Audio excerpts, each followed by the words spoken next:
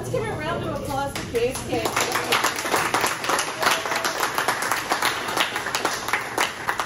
Thank you. Good morning. It's great to see all of you. Welcome back to campus. Um, this is my first time back in 12 years. Uh, 12 years ago, I guess my wife and I were just driving through and said, hey, let's see Potsdam.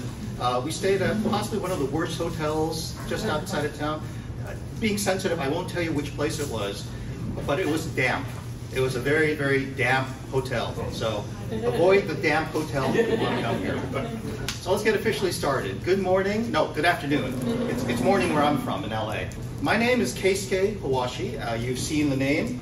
The spelling does not do me any favors, but this is the spelling I grew up with. I'm going to keep it. Uh, and I'm from Potsdam class of 1989.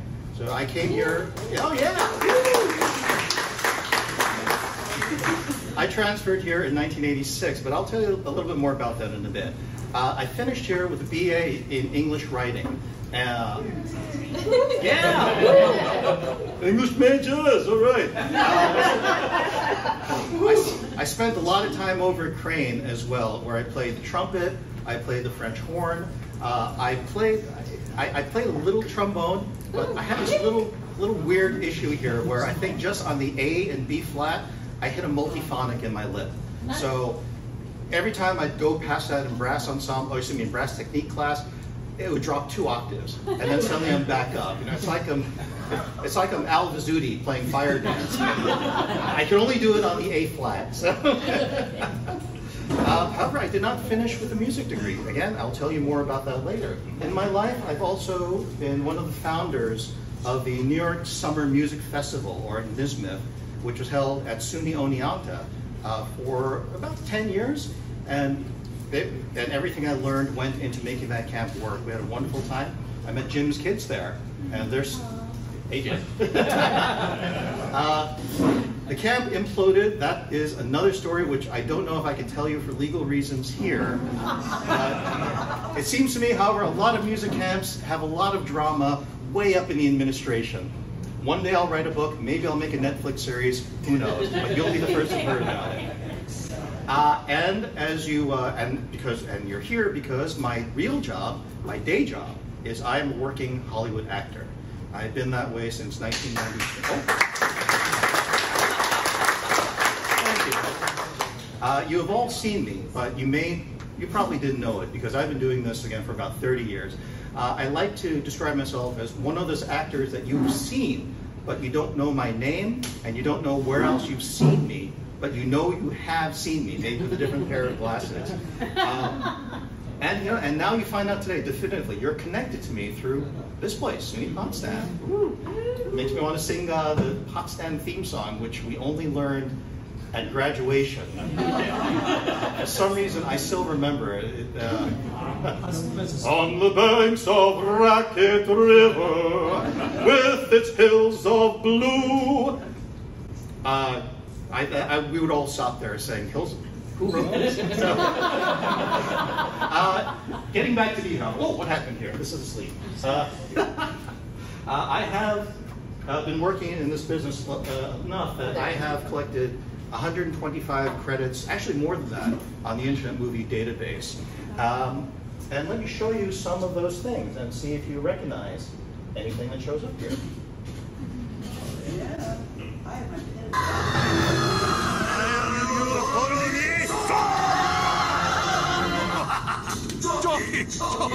That's good. You, you got us. Did I get you? Yeah, very much.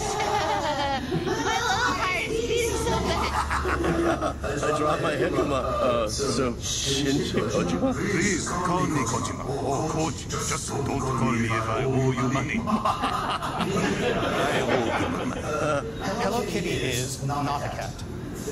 Thank you. That's, I have to say that's hard for me to believe. She doesn't look like a cat. If, if that's not a cat, what is it?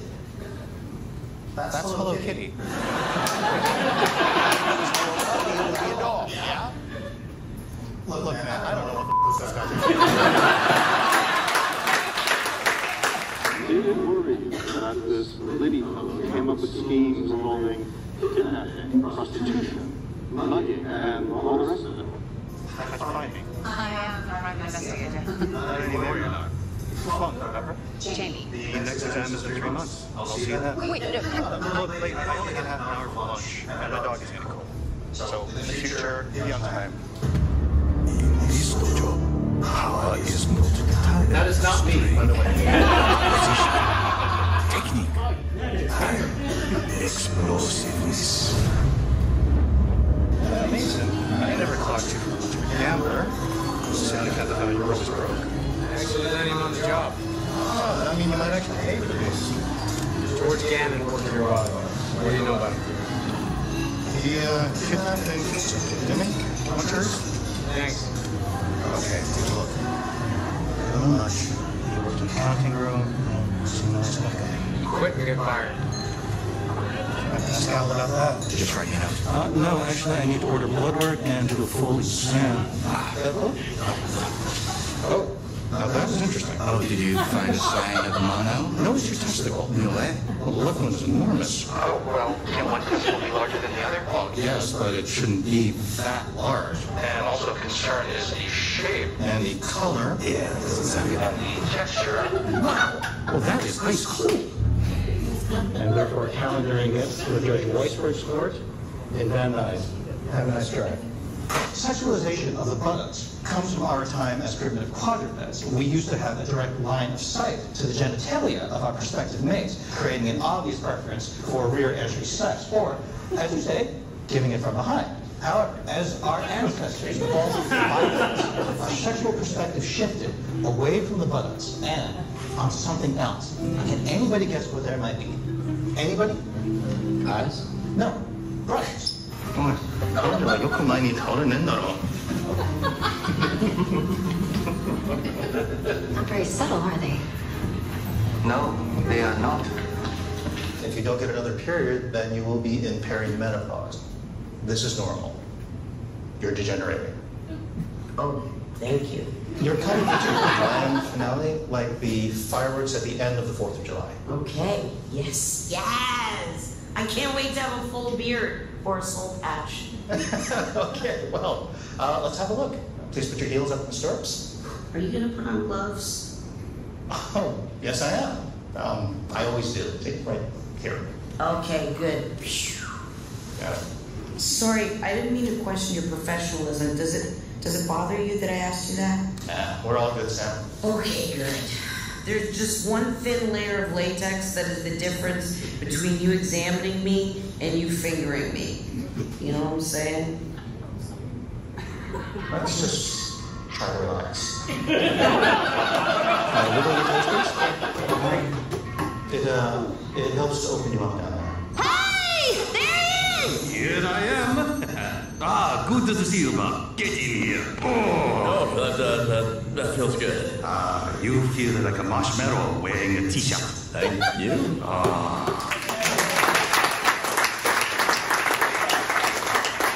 Well, Not too bad for an English major, right? So I, the obvious next question would be, that how did I get from here, an English major in Potsdam and a failed cranie, uh, how did I get from there to Hollywood?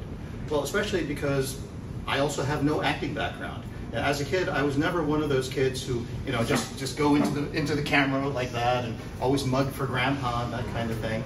Uh, I was a quiet kid. I would read Peanuts cartoons and I would do all the voices aloud. You know, I do a different voice for Snoopy, one for Lucy. Lucy, for some reason, sounded like uh, Natasha Lyonne. You know, so- ah, so what are you doing, you dumb beagle? You know. yeah, I didn't like Lucy. But uh, I would imitate people in movies. I do impressions. Uh, I sang commercial jingles. But the only thing I ever did as an actor, I didn't really do until fifth grade, when I got cast as Captain Hook in Peter Pan. And I was still a boy soprano at the time, so you think of the, the original Peter Pan, he's sneering, but you have a voice high like this. So, Pan, you think you can get away with this, Pan? I was actually higher than that, I think. uh, things kind of came crashing down because my voice changed right in the middle of production, uh, and I couldn't do the soprano notes anymore. So, so again, I really wasn't into acting at the time, and somehow I discovered trumpet around, uh, I was in junior high school in seventh grade. So I started a little bit later. Uh, I gave it a great run. Uh, I lived in New York City. I grew up a, a city kid. And uh, there's a ton of opportunities down there. So I got to play in the All City Orchestra and the band. Uh, I was I was with the Independent School Orchestras and played in all the major halls, including Carnegie, multiple times. Uh, but I didn't exactly know this was good. I think. Uh, oh, I also went to the New York State Music Camp. I actually won a brass scholarship there one summer. So uh, I think I was better than I thought. But you know when something doesn't feel quite right. Now it's good, it's fun, it's exciting, but it doesn't it, it doesn't you know, really get me going all the time. Because I, I, would I would look at solos with terror. Uh, I would try even playing three or four notes. Suddenly my hands are shaking and they're slipping on the valves. Uh, and yet I kept doing it because I was again better than I thought. I guess. I wound up going to Boston University for journalism. Uh, I applied here and got accepted. I also did safety schools of Geneseo, Fredonia, and Brockport. Uh, but I decided Boston University, journalism, that sounds more practical, maybe smarter thing to do, give me options. It took me about a month to realize I made a huge freaking mistake. Boston University was not the place for me. I know many people there really loved it. It just didn't feel right. I came from New York City, I go to Boston. It's it to a snobby, I guess I was a little bit of a snob when I was 17, but Boston felt like a little tiny town to me. Uh, yeah, talk, talk, about a snob. Yeah. yeah. Good choice. Thank you. Yes. It was attempting all of it. I, I, felt it was trying to be like New York City and failing miserably in every way. The, and because I was I was finding reasons to not like the place, I, I just got desperately unhappy really quickly and started applying for other places to transfer out. And I got rejected from every place, all of which sending me little letters showing a, quite a lot of snarkiness. Um, they, they, they were all variations of, we think it's best if you give the place a chance. because if you're not, you're going to succeed better that way than coming. Yeah. Yeah, yeah even then, I was giving voices to all these letters that are coming. so, I had a, a, job at a summer music camp down in uh, in Wilkes-Barre, Pennsylvania. I, was, I returned for my second year, and I was carrying all this gloom and doom with me from Boston University, and that was really affecting my uh, ability to be a good counselor. And uh, after a few really just like frightening meltdowns, I was getting really awful, violent images of what might happen to me if I went back to Boston. Uh, finally, uh, somewhere a couple of weeks into camp, I admitted to a good friend of mine, I don't want to go back to Boston University. Uh, this is irrational, illogical. I should not hate this place as much as I do, but I do. And I'm not going to go back. And that was liberating. And then I got fired uh, from the music camp job. Uh, probably it was because I was carrying so much gloom. It must have been I'm sure the campers notice that something's wrong with Casey. He's, he's not doing nearly as good as he should be doing. So I wound up back at my parents' house, uh, middle of summer, no plan, no future, no idea what the heck I was going to do next. And then Potsdam threw me a lifeline. Literally out of nowhere, Potsdam sent me a letter saying, we know that a lot of people after one year uh, at the school they've gone to may not find that it was really the right fit for you. If you happen, just so, just in case, you happen to be one of those people, we would love for you to transfer here. And I jumped at the offer immediately. I had friends here from music camp. Uh, one of them, uh, I just called up. I hadn't spoken to him in months, if not a whole year. And uh, without any question, he said, yes, I'll bring you up to Potsdam. Uh, he stopped by in his enormous uh, Chevy Suburban wagon, which somehow he had not filled up. I put in like four suitcases, jumped in, came up here, and I fell in love with the place immediately. This is a place, it felt like college um, we had you know, all this brick, which the, the head of the student government was always making fun of. And everything here is made of brick. It's so funny. I, I thought, isn't it supposed to be? This is this is great. Cinder blocks on the inside. Yes, yes, that's a dorm. Dorms have cinder blocks. No air conditioning. It's four degrees outside. this place was great. It was perfect. Plus, I already had a base of friends here uh, from camp. Susan Kavanaugh, actually, I met at camp as well. She was my first conductor there. Or excuse me, she was my first conducting teacher and choir director. And she was really sweet. She still is. I, and I only knew, I only found out recently that we have this place in common as well.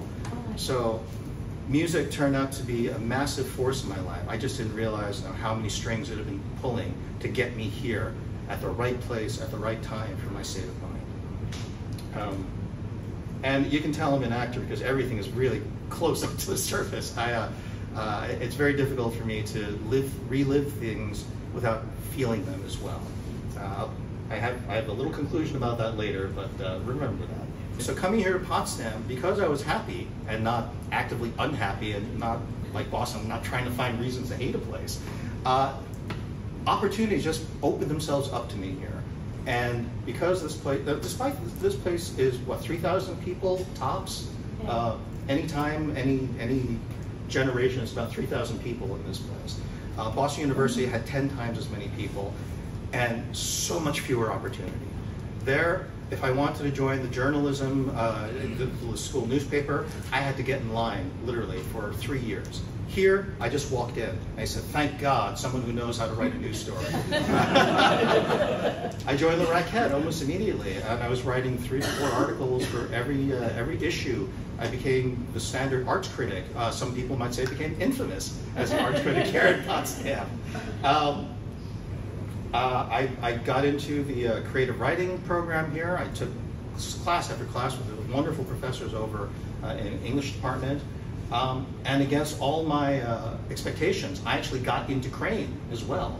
Uh, I got in uh, early enough to start singing with Brock McElheran, and I was here for his final concert.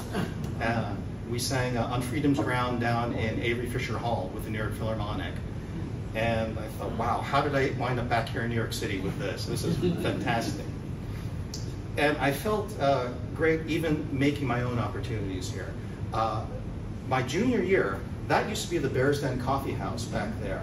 And for some, someone had come up with what I think is actually an excellent idea of making a performer stage on there, which is open to everybody, not just cranies, not just people trying to impress with how good they can play, but people who wanted to just sing their own stuff, or in term, uh, many crane folks were there as well, playing their third or fourth instrument, or trying out new stuff. It was, it was a wonderful place. And I decided I wanted to join in with that. So I sang songs by Tom Lehrer in the college coffee house. I remember. You do? I do. Way back there, I remember. I was like, oh my God, somebody else knows Tom Lehrer. oh my God. Yeah, I was doing that. Yep. Poisoning Pigeons in the Park, the Masochism Tango. Yes. my hometown. Oh, the Vatican rag. I sang. You know the song? First you get down on your knees, fiddle with your rosaries, bow your head with great respect, then genuflect, genuflect, genuflect. Great, we know it. I can't believe they let me do that in here. Uh, and I also found, made myself the opportunity to be the Potsdam Bear for one semester. I, I did the basketball games. Uh, I was the bear that didn't wear the bare feet because my feet were too wide. I broke the elastic on the bear's feet. So I just took them off, and uh, if you see the bear wearing white sneakers, you knew that was me inside of that costume. Uh, I went with the bears to Albany, where the crowd almost threw me off the stands. and I think my last appearance was right back, well, well, back there, there was a little bit of a stage, I think.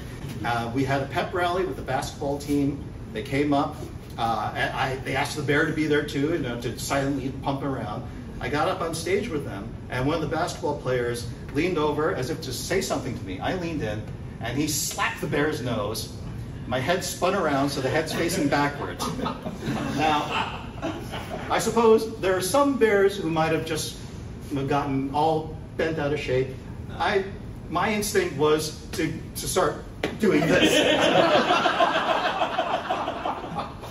so I suppose objectively there was some, some uh, there's there's definitely signs that this was probably where I should be going. I just didn't know it yet. All this great stuff is happening to me here at Crane, uh, and then I quit. I I quit Crane, which was really the hardest decision I'd ever made in my life, and I think it still remains the most difficult thing I ever have done, because as I was progressing through Crane, going through, you know, I was a year behind because I transferred in as a, as a sophomore.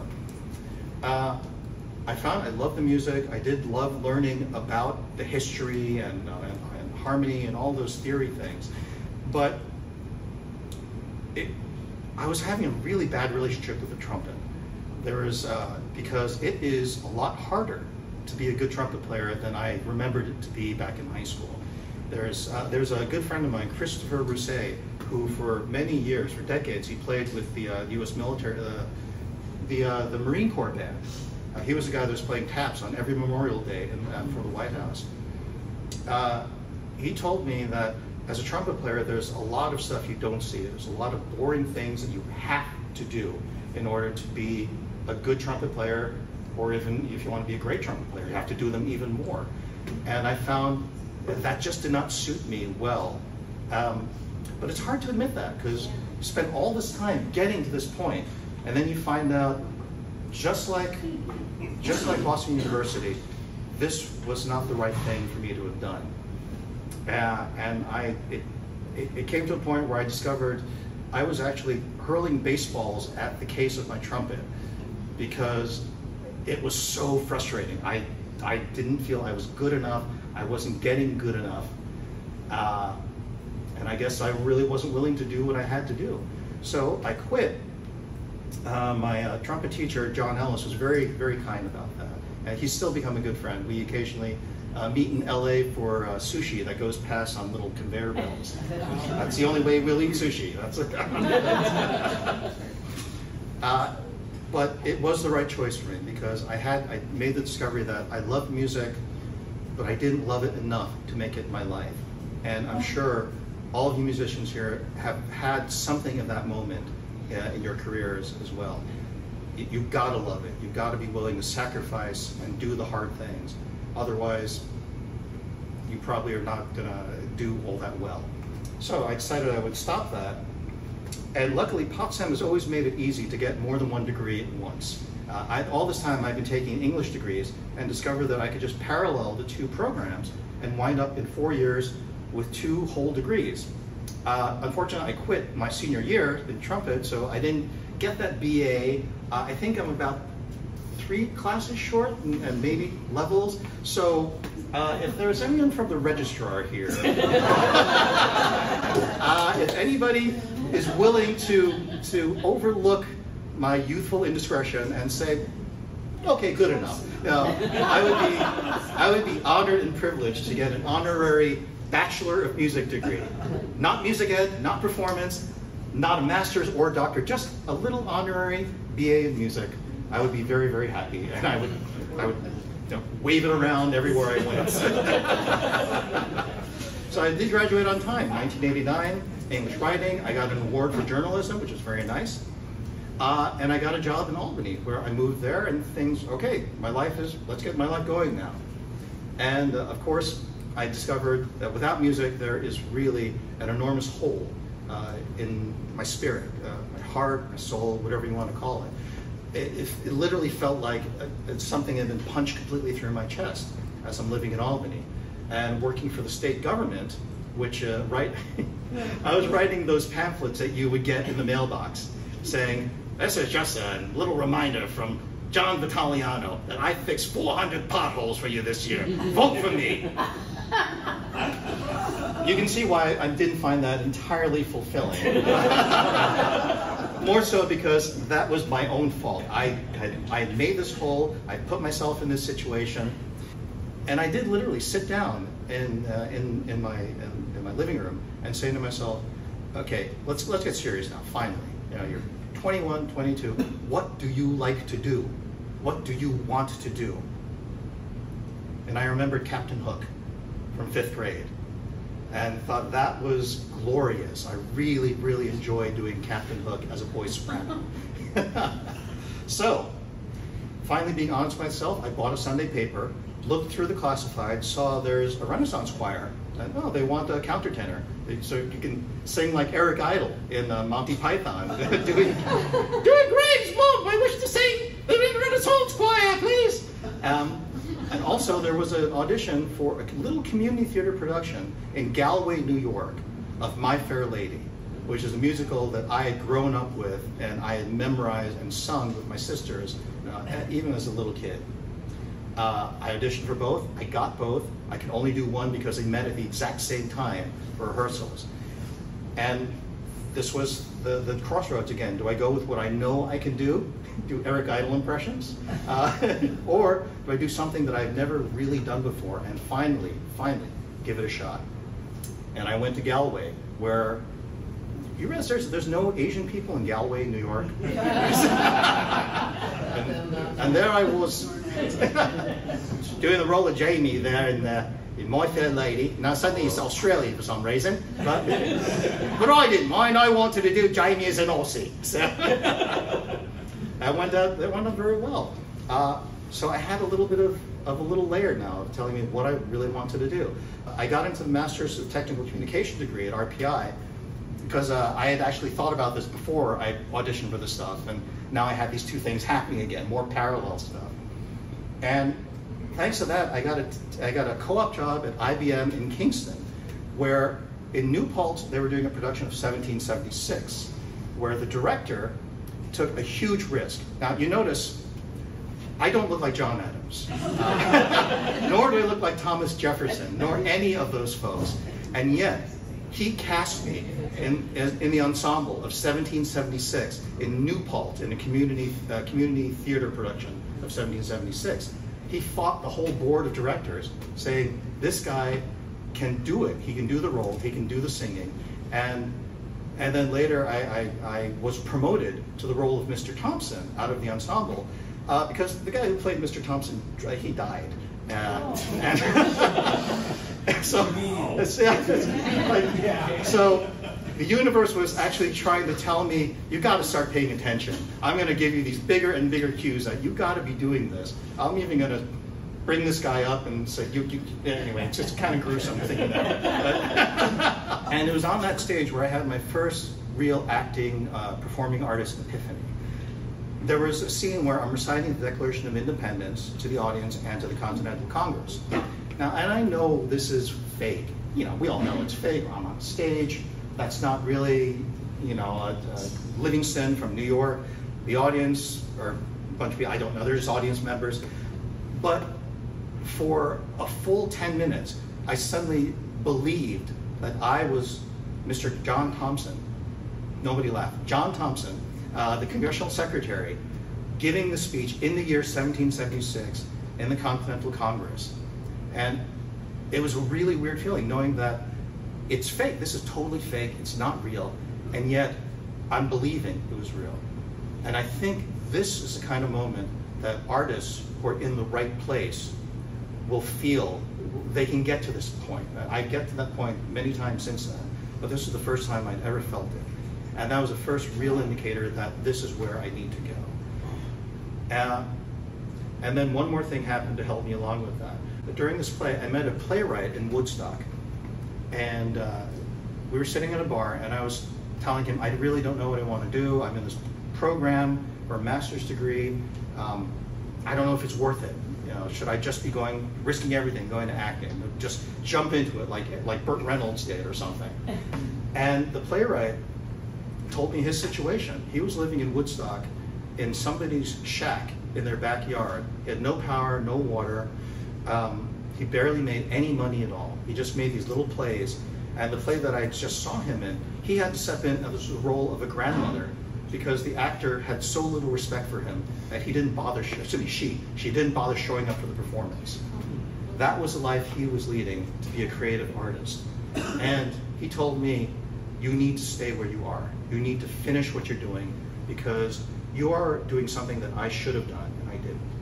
You are guaranteed, you're ensuring your means of survival while you give yourself the opportunity to find your reason for living.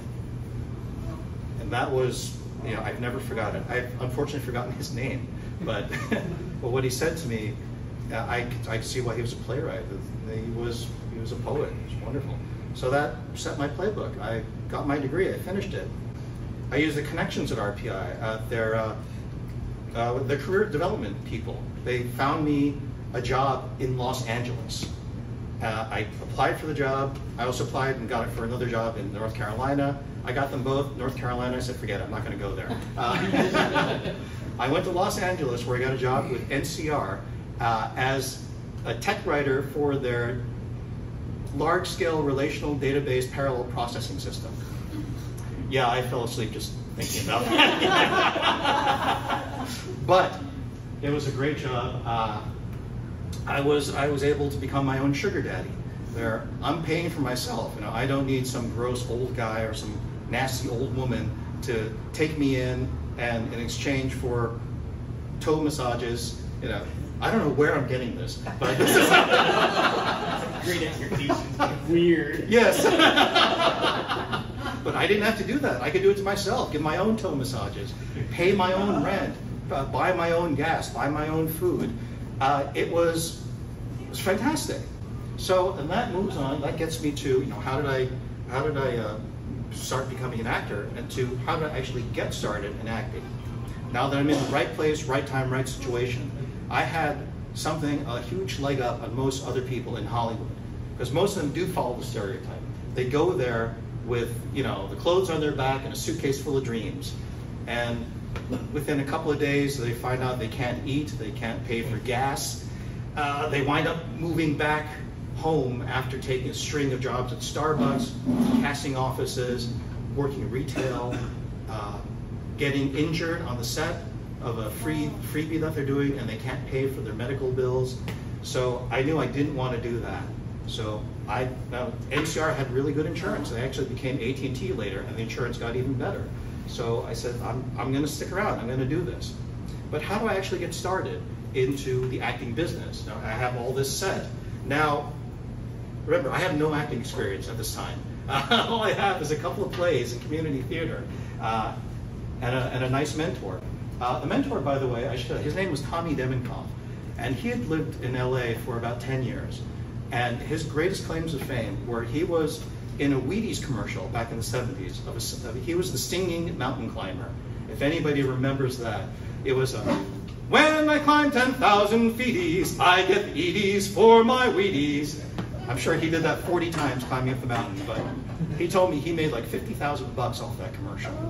So he told me commercials are how you get started in that business because you can be some of the worst actors in the world, but if you know how to just stand on a spot and look where they tell you to look and do what they tell you to do, you can make fifty, twenty-five thousand dollars on, on a Wheaties commercial.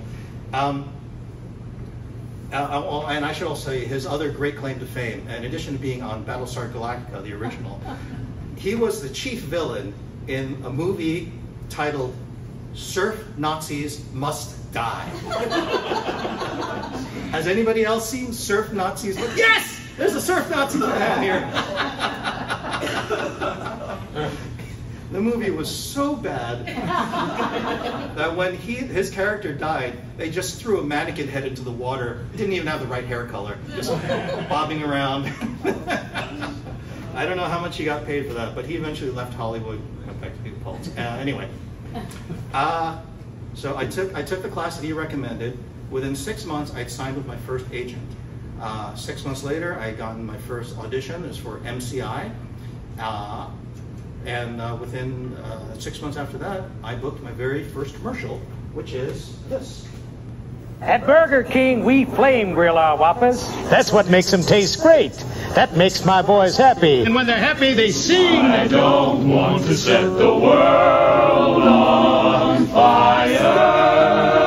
I just want to start a flame in your I don't want to set the world on fire, honey. I love you too much. I just want to instill a flame in your grill. If you want the great taste of a flame grill Whopper, you got to change to Burger King. You got it?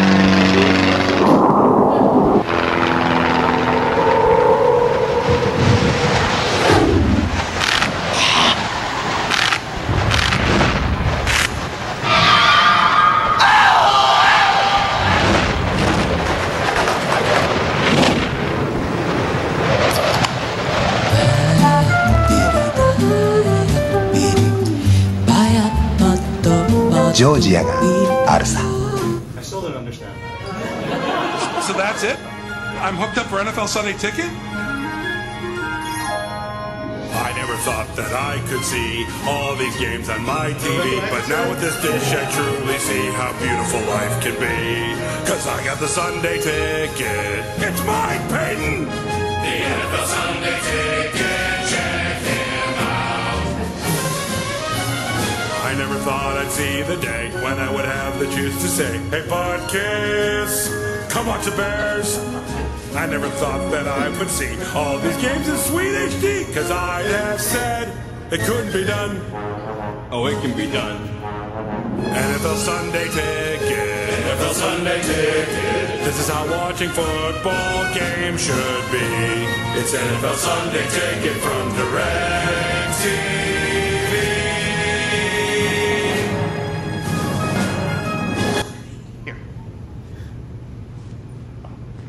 I'm here to demonstrate the Yamaha Digital Sound Projector. This ingenious device bounces focused sound beams off the walls to create true surround sound from a single component. But we can't show sound beams, so instead, I'll use this. The beams create a center channel, front left and right channel, Dude! and two rear channels. Ow! Yamaha. Home theater simplified.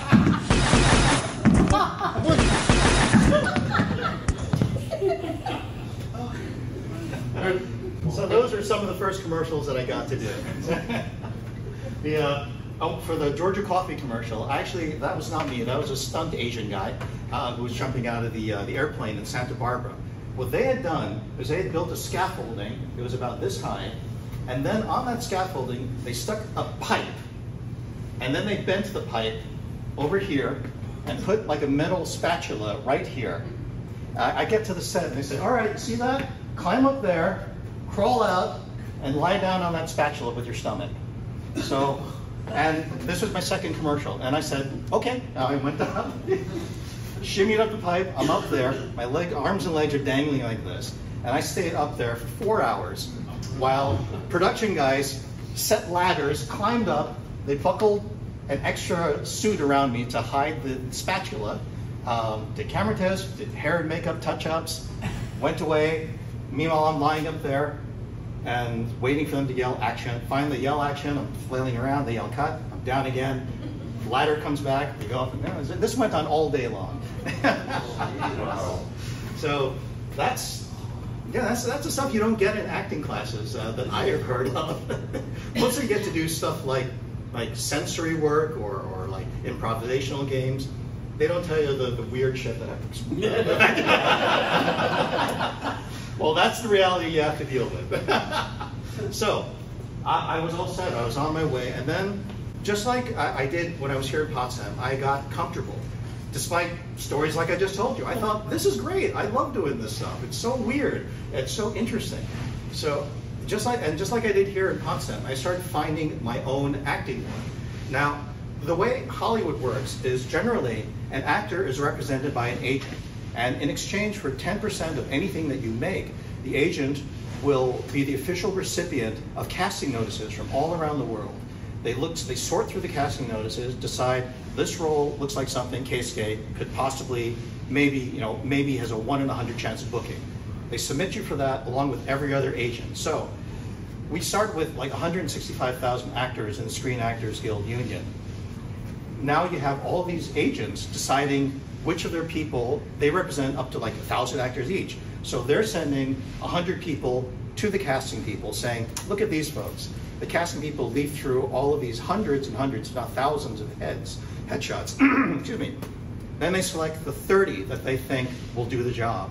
They call us in, we go in, do the audition, they send it back to the producers. The producers say, we think these five are the best ones. Um, is it because they're the best actor? No, because I like his beard. Or, you know, this, this guy was funny, he made me laugh. Or this person looks sad, I want a sad person for this. Uh, so then the, those five people get called back again. You get you audition with like 10 people staring at you in the room, judging everything that you're doing, writing down notes. And then, if you're very lucky, you get like you get chosen as either a principal or a backup. Uh, and then maybe the day before you actually are supposed to shoot, they say, "We want you, definitely."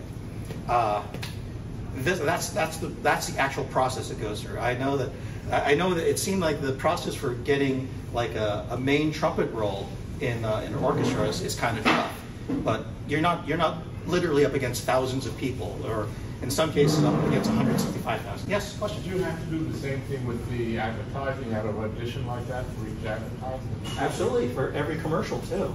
Yeah, the commercials, um, they have even more people submitting because it's, a, it's an even bigger pile of people coming in.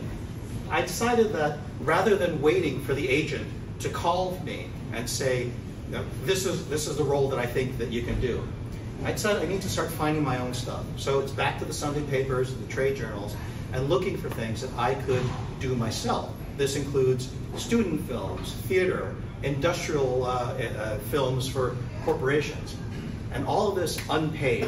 Now, notice act, I actors normally can't take these jobs because they need money. Because, but I already had a job. I worked at NCR Corporation, so I could take all of these unpaid things and use it as training ground. Now, I used to be the metaphor of pitching that you can, uh, it's just, just like, I'm sorry, that normally, you know, when you're learning how to hit, you're facing a pitching machine, throwing you know, baseballs at you at a regular pace.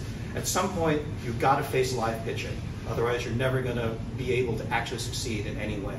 This was the, the, the anal analogous to me for live pitching. And it was working well. It worked great for five years. And then I got myself fired from NCR. So we'll get back to that. You have a question?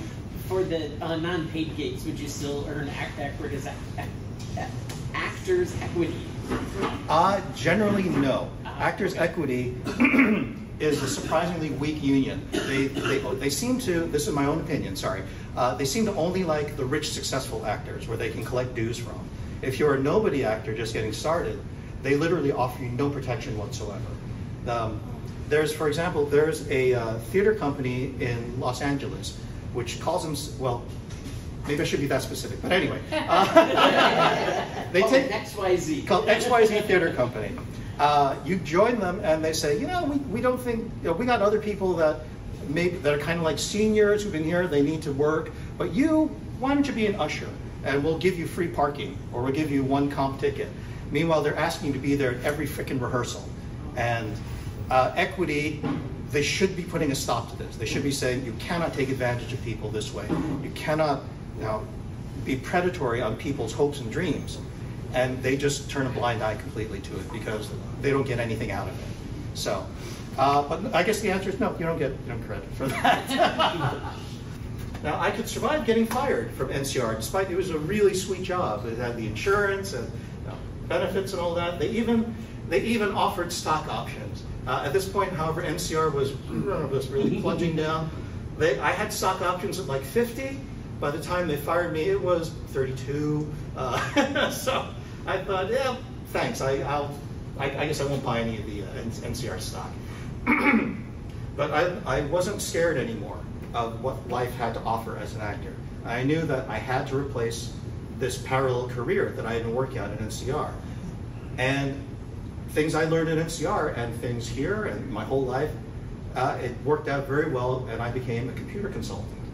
And because I knew about networking, uh, this was back in the early days of the Macintosh. Uh, I knew how to run AppleTalk cables and how to get all the network hard drives set up properly. Uh, I knew about RAM, I knew how much you needed, I knew how expensive they were. so I could rattle all that off the top of my head to people, and it was extremely valuable, especially to the production companies. So I wound up working in every casting uh, office in town, crawling through the acoustic ceilings, running cables, telling them how to save money by uh, by turning off AppleTalk so you can use the same version of Microsoft Word on three computers at once. So all these little tricks which saved them thousands of dollars and supported my acting habit for the next several years. I also was very lucky that I joined this group called Legend Management. Now this was a totally illegal group, uh, but it was a fake artist management company. Uh, there's differences between artists and managers, uh, excuse me, agents managers, but uh, what it comes down to is managers can also get the casting notices and submit their actors. Uh, we didn't have an agent. Uh, we were just like 12 actors getting all of these uh, uh, casting notices and deciding for ourselves what we wanted to submit for. It was very expensive, but I had a consulting business, so I could pay for the, the fees for this. Uh, I could even pay for the rolls of fax paper that it required. and you had to act fast because, you know, the fax paper will fade after a couple of days. You had to, get, you had to work very quickly. Uh, and I use that to push the boundaries of my stereotype as well. At this point, I had done plenty of you know, little, you know, little you know, Oriental characters. You know, I'd been the Chinese delivery boy, and the Japanese businessman with an accent. I decided uh, I really didn't want to keep doing that because I don't have an accent. I could fake it, but know, that's not me. I'd rather act. And this submission group I was able to use to push for things that would say just instead of saying Japanese delivery boy, it would just say cook, or they would want a Indian doctor, and I would just submit myself as a doctor. And it really worked. I got roles in the Bernie Mac show for that, uh, the Amanda show, if you remember that thing, well, way back for Amanda Bynes before she went nuts, and before she went nuts, and she's gone nuts again, apparently. um, I got on the show Strong Medicine as an anesthesiologist, where I, uh, I learned all about prop tushies and, and injecting bone marrow needles and, and extracting bone marrow from fake butts. Uh, it's, it's a lot more difficult than it seems. Oh, actually, on action, they kept saying, we want you to, they, they made us watch doctors actually doing it, so we knew what to do. Uh, and when it came to do it, they yelled action. I take this enormous needle, uh, I plunge it into this fake butt, and, uh, and I'm thinking, I'm pretending, again, that epiphany of acting. This is a real 10-year-old boy's butt, and I don't want to cause him any more pain than I have to. So I'm going in efficiently but carefully. And they kept saying, it doesn't look good. Can you wiggle the needle? And, and I, okay, sure. Uh, can you move your arm? Okay, okay. All right. Can you move it there? Okay, that's good. Uh, can you give us some more, some, some lines? Okay, ah, there we, okay, that's good. That's a good one. All right. Ah, and, that's the shot that they used. so that's acting for you. Um, but that was all non-ethnic specific stuff. And the goal here really was to build my resume, which, which would uh, show future casting opportunities that Keisuke has, he's got the chops to do this. He's got the credentials. He's not some neophyte, uh, and you can trust him to do it. Um, I don't know if any of you realize this, but Hollywood is a town that runs on fear. They're not run by creativity. Uh, they're not really even run by profit. They're just run because they're terrified of losing money. That's why they do sequels every chance they can, because they say, this made money, this next one's gonna make money. Uh, you don't see a lot of brand new stuff because they're afraid, they don't want to be the schmuck who made the $200 million mistake, like Waterworld. Uh, yeah, so, oh, some people remember Waterworld, yes. So success, it just got bigger and bigger, and it wound up, uh, I wound up doing enormous commercials like this. Apartments.com lets any landlord find qualified renters and sign leases and collect payments from any place, even here. And where's here exactly? Isla de Rentada is where we let all of our landlords acclimate to their newfound freedom. Do you like dolphins? Watch. oh, hey, you, you didn't touch that, did you? Uh-oh. Ay, ay, ay, ay, ay. Apartments.com, the place to list a place. There's Bill, whose heart rate rises to 115, nervous I'll mention. And diarrhea? His chronic night sweats. And chronic night sweats. You sweat more at night than you do at the gym. Which is rich coming from Linda, who's wearing yoga pants but never does yoga. I stretch. How do you know so much about us? Way to ruin the fun. Yes, yes, they all start from the outside. So, will we help him? What else? Here, try it with Red Bull. Red Bull gives you wings. 15 minutes to wait. wow, I gotta take off. Now, you downloaded the TD Ameritrade mobile app so you can quickly check the markets? Yeah, actually, I'm taking one last look at my dashboard before we board. Have a great flight. thanks. We'll see you. Choose the app that fits your investing style. Are these numbers right? Yes. Do you know what this means? It means we have doubled in the last six months. It means we're gonna have to hire more people, move into a bigger space to get those keycard things. But we'll need to order a lot more Wood? What if this continues? Dave, isn't that kind of the idea? Come to City and let's get it done. "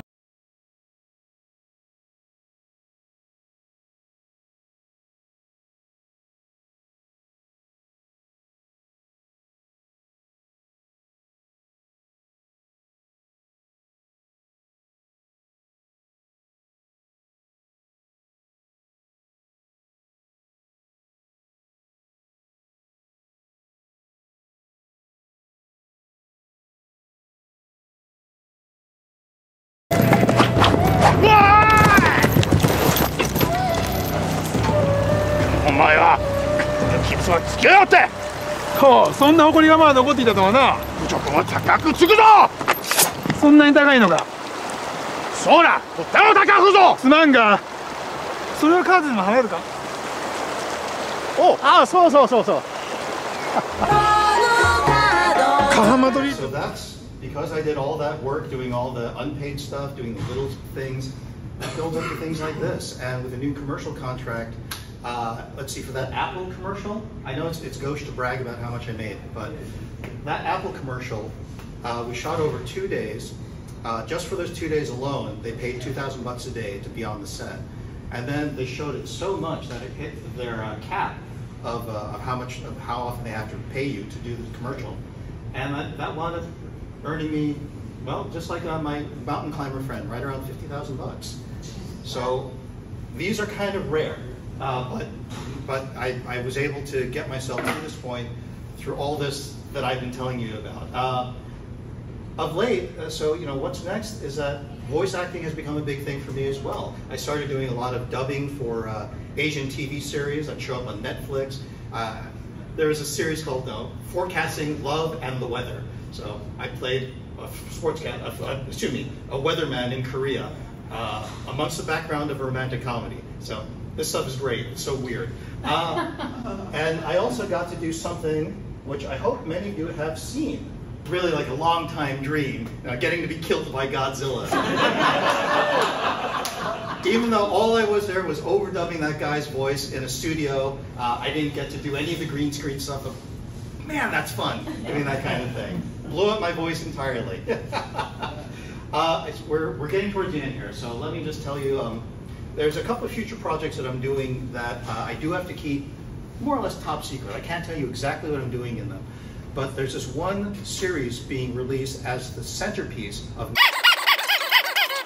I also just worked with Tyler Perry.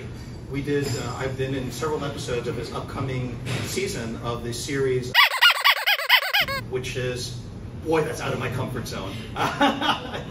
there's, a lot of swearing, a lot of male nudity in this. Uh, I did not have to do any of it, thank goodness, because I don't think anyone should pay for that. Um, for, for me, anyway. The guys that are getting paid for it, yeah, yeah, they're, yeah, they're great. They look wonderful, but no, no, not for me. But as far as what's happening next, I just don't know. Uh, I'm going to be going back to Los Angeles. I'll call my agents and say, I'm back. Let's, let's get me out again. And we'll do that whole process I described. They'll get uh, casting notices. They'll pour, pour through them, decide which, uh, which do you think Casey can do well in.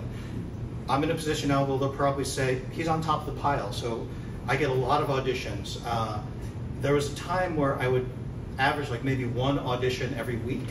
These days I'm getting close to three to four auditions every week.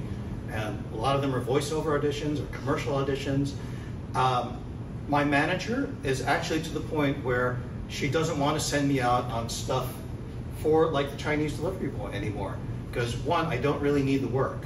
And you know, two, there's somebody who's just like me, just like I was 20 years ago, that needs that job a whole lot more than I do. And I'm more than happy to let that person have the job. Whether you know, they turn out to be, uh, you know, maybe the, the minority of the day, maybe they're, they're a Uyghur or they're Indian or Pakistani or a Native American. That's, that's I, I'd like to think that I'm helping uh, the state of things in Hollywood by stepping aside to make room for other people to succeed and not just sucking all the air out of the room and grabbing everything. Like takes, who takes every role. He doesn't need anything. Um, yeah, I'm a little bitter about that. yes, another question? Given the state of modern technology, how much of the audition process is live in person versus how much is remote, if any? All of it can be remote at this point, but really nobody likes it. Uh, because for one, it forces all actors to become technicians. Now, these days, with you know, the kids that you've got, they're, they're wizards at technology right now. But there's nothing that, that can replace being in the same room with somebody.